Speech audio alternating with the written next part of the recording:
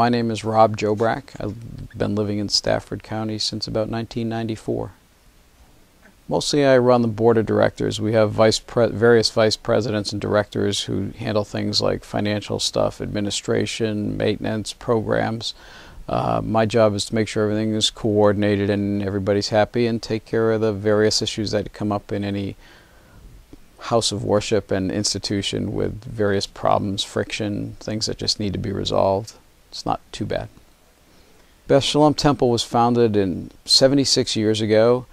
Uh, it first met in the basement of one of the churches downtown. Some folks were very generous to us, let us hold services down there. Uh, then in the 20s or th in the 30s, I believe, we moved to a building on Charlotte Street, which we liked a lot, but we just frankly outgrew it. Uh, one of our local developers, Carl Silver, uh, offered some land as part of a proffer, I believe, for development, but also for Beth Sholom Temple. And we moved out here. We began construction in the late 90s. We moved out here about 2001, 2002 to this building that we're in now here in Stafford. Uh, clearly, the first thing is size. We outgrew the old building. The, the sanctuary wasn't big enough to hold services in downtown, especially during the Jewish high holiday services in uh, usually in the fall of each year, Rosh Hashanah and Yom Kippur, we had people watching on video monitors down in our small social hall in the basement. When we moved up here, we were able to have a sanctuary that accommodated the Jewish population of this area, not just members, but other Jews who wanted to come here and worship.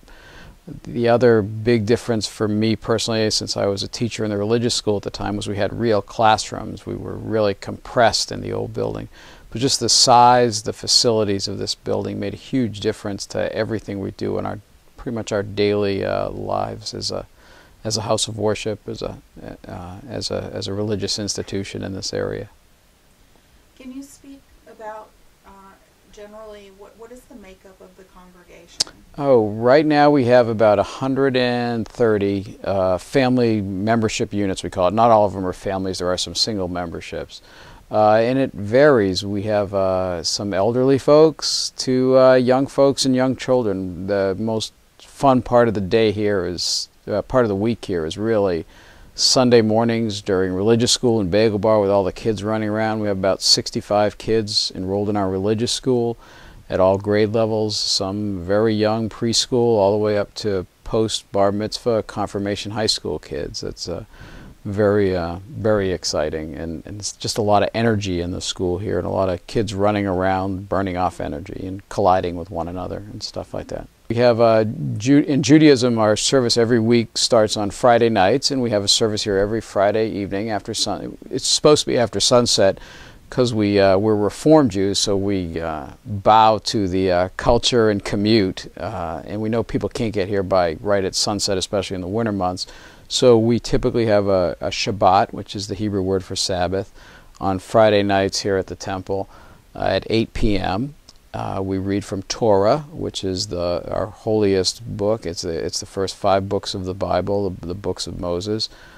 Uh, we do that every Friday evening and Saturday morning, and then uh, we have Sunday school on Sunday mornings. But Shabbat is the big thing in Judaism to have routine Shabbat services Right now, we don't have a full time rabbi. We have a student rabbi who comes roughly every other week. She's in the process of getting trained up as a professional rabbi. In the week she's not here, we have a cadre of lay leaders who will lead services and Torah readers, which isn't the same skill. And our Torah readers will uh, have, have to do some studying too. But we're keeping up, and in July, uh, we'll bring a full-time rabbi in. Uh, rabbi Jeremy Weisblatt will be joining our congregation in July, and we're really excited about that. That'll change the dynamic around here. We're very excited about that. Not just excited, we're very excited about that.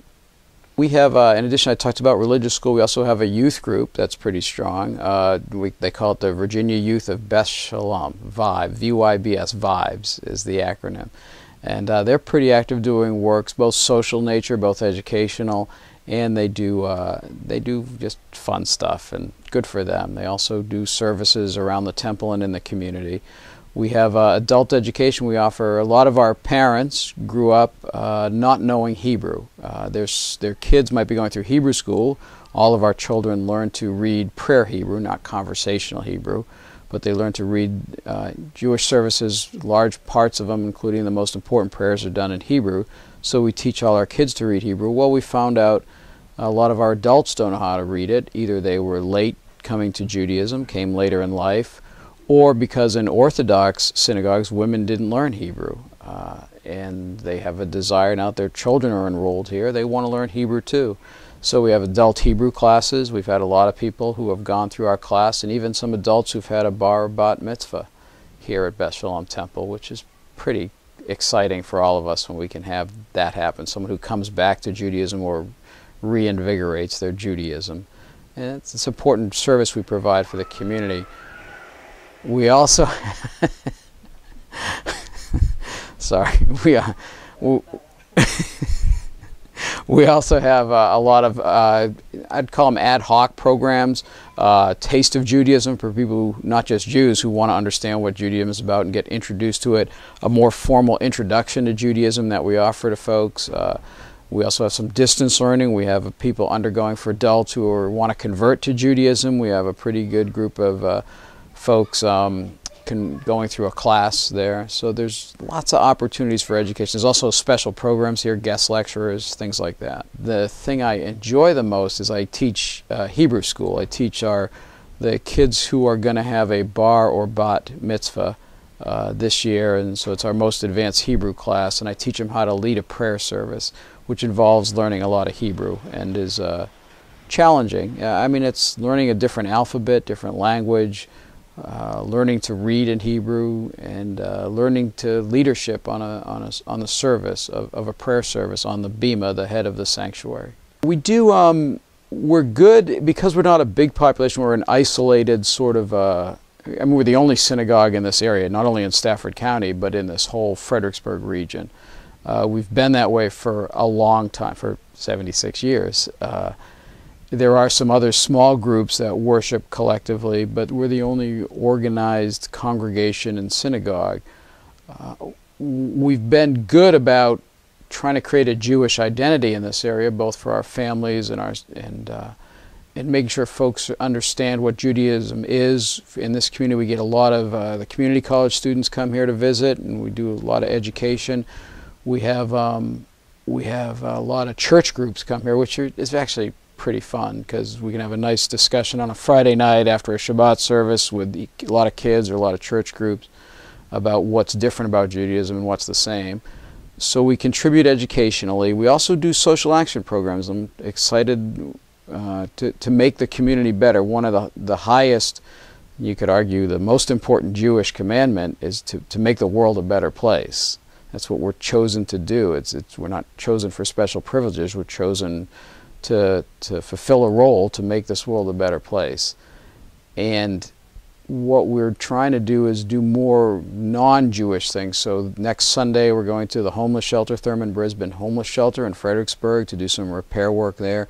trying to get a new uh, vigor about that here. We've not been great about it. We've been so busy, I don't want to say self-absorbed, that's pejorative, but we're sort of been trying to get our own house in order, trying to survive, if you will, trying to sustain and grow. And now we we want to look outward more. We've done other projects here like river cleanup. We've helped with that.